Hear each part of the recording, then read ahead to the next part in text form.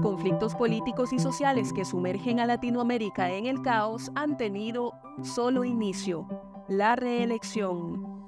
La necesidad insaciable de líderes políticos o caudillos de perpetuarse en el poder se concretan cuando estos, a través de diferentes estrategias que involucran la manipulación, el soborno y el chantaje, logran controlar la mayoría o todos los poderes del Estado, lo que les permite, sin contratiempos, reformar las leyes para eliminar los obstáculos que atentan contra sus aspiraciones. En Nicaragua, el dictador Anastasio Somoza García gobernó por 16 años gracias a turbios y cuestionados procesos de reelección. Más tarde, su hijo, Anastasio Somoza de Baile, se convertiría en el nuevo dictador entre 1967 y 1979, 12 años.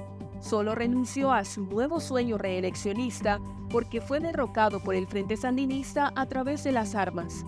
Sin embargo, aunque la premisa del sandinismo era acabar con un dictador, no tuvo reparo en ubicar a otro en el poder, Después de dirigir la Junta de Gobierno entre 1979 y 1985, Ortega continuó otros cinco años como presidente del país. Más tarde, en 2007, volvió al poder. Lleva 16 años en el gobierno y se rehúsa a abandonarlo. Los resultados están a la vista.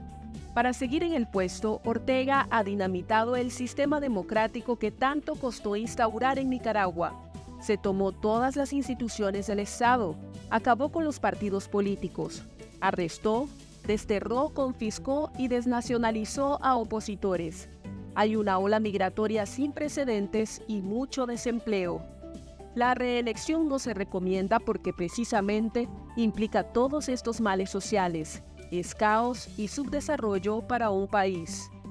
Civismo y cultura democrática, el principio para la paz.